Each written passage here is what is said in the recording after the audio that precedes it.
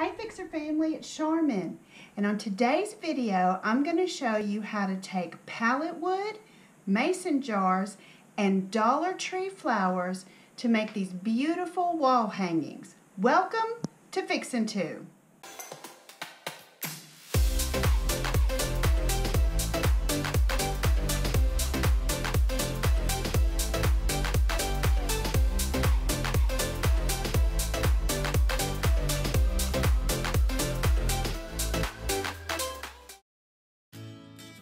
Here are the supplies that you're going to need for this project. Now you can use either 1 by 6s or you can also use pallet wood. I'm using pallet wood today and it's measured 15 inches long. You'll need two brackets of some form to be able to hang your mason jar from. You'll need uh, Dollar Tree flowers or any kind of flowers that you want. I'm using hydrangeas today. You'll also need um, paint. Now I'm using uh, Rust-Oleum's chalk paint in the color Chiffon Cream. And I'm also using Apple Barrel acrylic paint in the color Burnt Umber. You'll need two mason jars with the lids removed. I'm using pint-sized mason, mason jars. Two paint brushes for both of your colors of paint jute twine, and also damp paper towels. These are what you'll need to get this uh, started, so let's go. Now the first thing I'm going to do is I'm going to fix my flowers. Now Dollar Tree's, um, their hydrangeas are kind of sparse and so I took two of the hydrangea uh, heads and I'm going to put them together.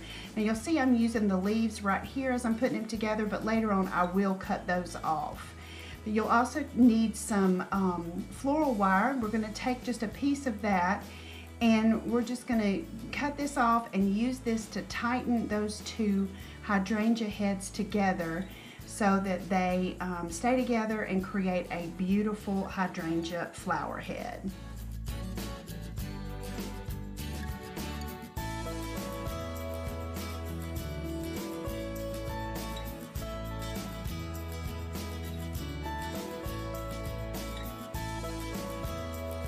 Now I've taken my pallet wood and I've sanded it down really well using 120 grit sandpaper. Now that it's prepared, I'm ready to do the staining effect using the acrylic paint. So basically I'm going to take the acrylic paint and I'm just going to paint it on and with a wet paper towel I'm going to wipe it off and that creates a staining effect that looks like stain but it dries much quicker. I will link in the iCards above a, a um, sign that I did at Christmas time using this technique and it goes into just a little bit more details with it.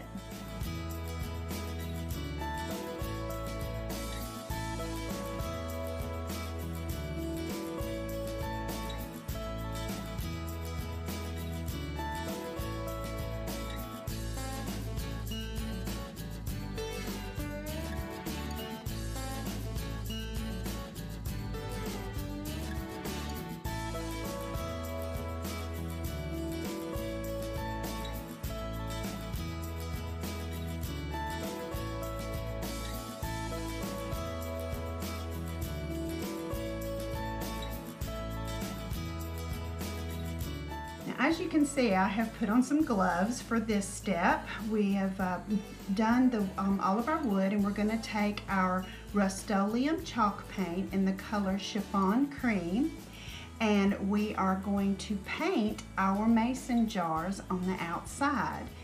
So basically we'll take our two clean mason jars and we're going to put two coats of the chalk paint on these and basically I let it dry in between each coat.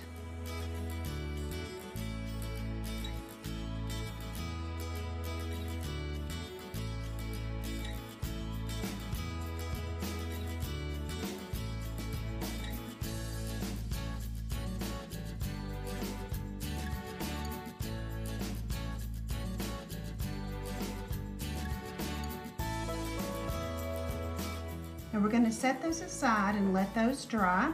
While they're drying, I am going to put on my brackets. Now these brackets are actually just center supports of some curtain rods that I put up recently when I did my farmhouse curtains. I'll link that in the iCards above. I just measured to get the center point there and um, used my drill to put them on. Now that these are completely dry, we're ready to distress them and give them some character.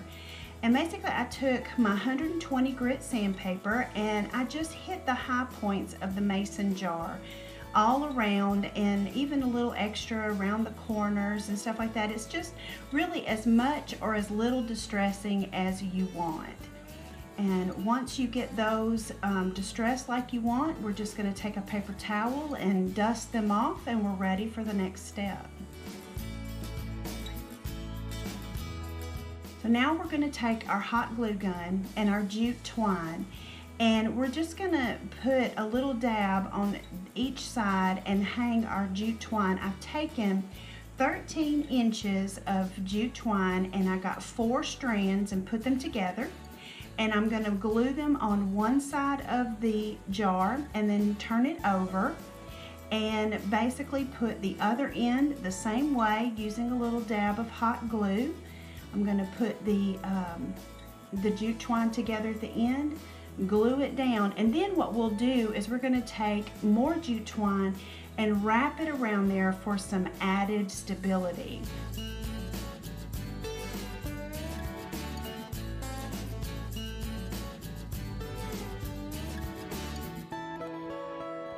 What we're going to do is just take the jute twine, we're going to tie a knot in it, leaving a tail on one end so that once we're finished wrapping, we can tie the other end to the same one, if that makes sense.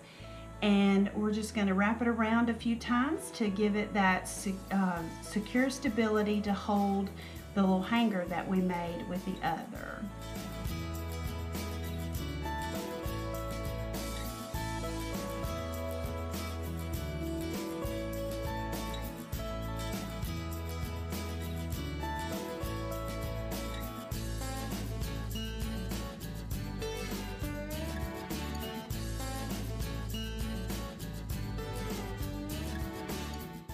There you have it, beautiful mason jar sconces or wall hangings, however you want to look at that, hanging on the wall and you can put whatever flowers you want in there. I think they turned out beautiful. The color of these mason jars are the same color, the same paint that I used when I did the dresser um, in a previous video. Well guys, if this is the first time to my channel, make sure that you hit that subscribe button so that you too can become a part of the Fixer family. We'd love to have you. Give it a thumbs up and let me know that you liked it. And always remember to keep looking up because that's where it all is. I'll see you on the next video.